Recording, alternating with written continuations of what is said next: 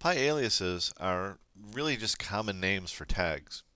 Very often, when a tag is created by a process engineer or technician, the naming convention makes sense in their organizational structure, but it may not make sense across the entire organization. So, what we do with the Pi aliases is we allow you to actually do two things to associate a common name with a given pi tag, but also to associate a series of tags together.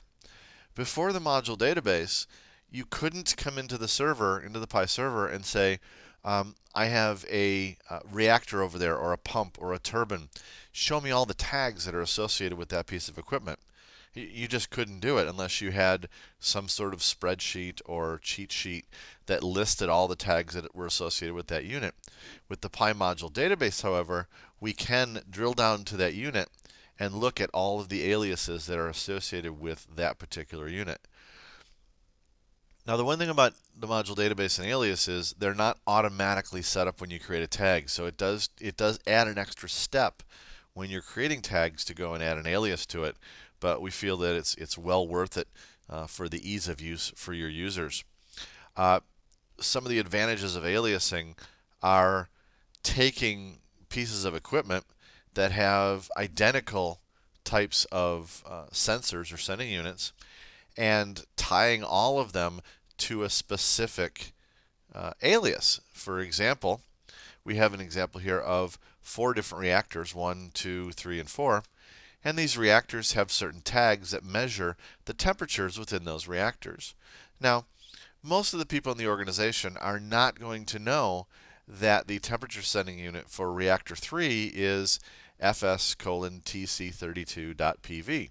However, I'll bet anybody in the organization could drill down, find reactor 3 in the hierarchy, and see that under that reactor there is a temperature alias, and therefore uh, find that information without ever having to actually have known the tag name.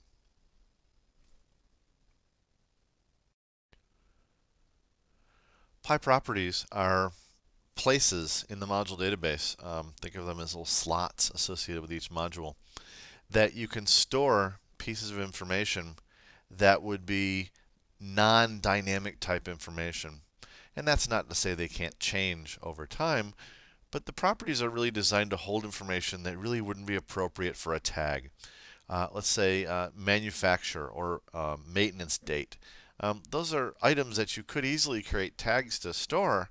However, if you're just going to create a tag to store one or a handful of values over time, you're not really using the tag as it was designed. However, properties and properties that are associated in the module database with a module, uh, that is what they're designed to do. They're designed to associate some sort of constant or infrequently changing value to a specific module. Now the property can be any data type, uh, numerical, strings, uh, booleans, and literally anything you can associate as a Pi property. And some of the examples of that we have here on the screen. So for example, um, maybe the serial number of a particular piece of equipment or its installation date, or maybe the name of the operator or technician that performed the installation, uh, or even the manufacturer of that particular piece of equipment. You can store constants for calculations, design data, um, any sort of information that you want associated with that particular module that you want your users to be able to access can be associated with that particular piece of equipment as a Pi property.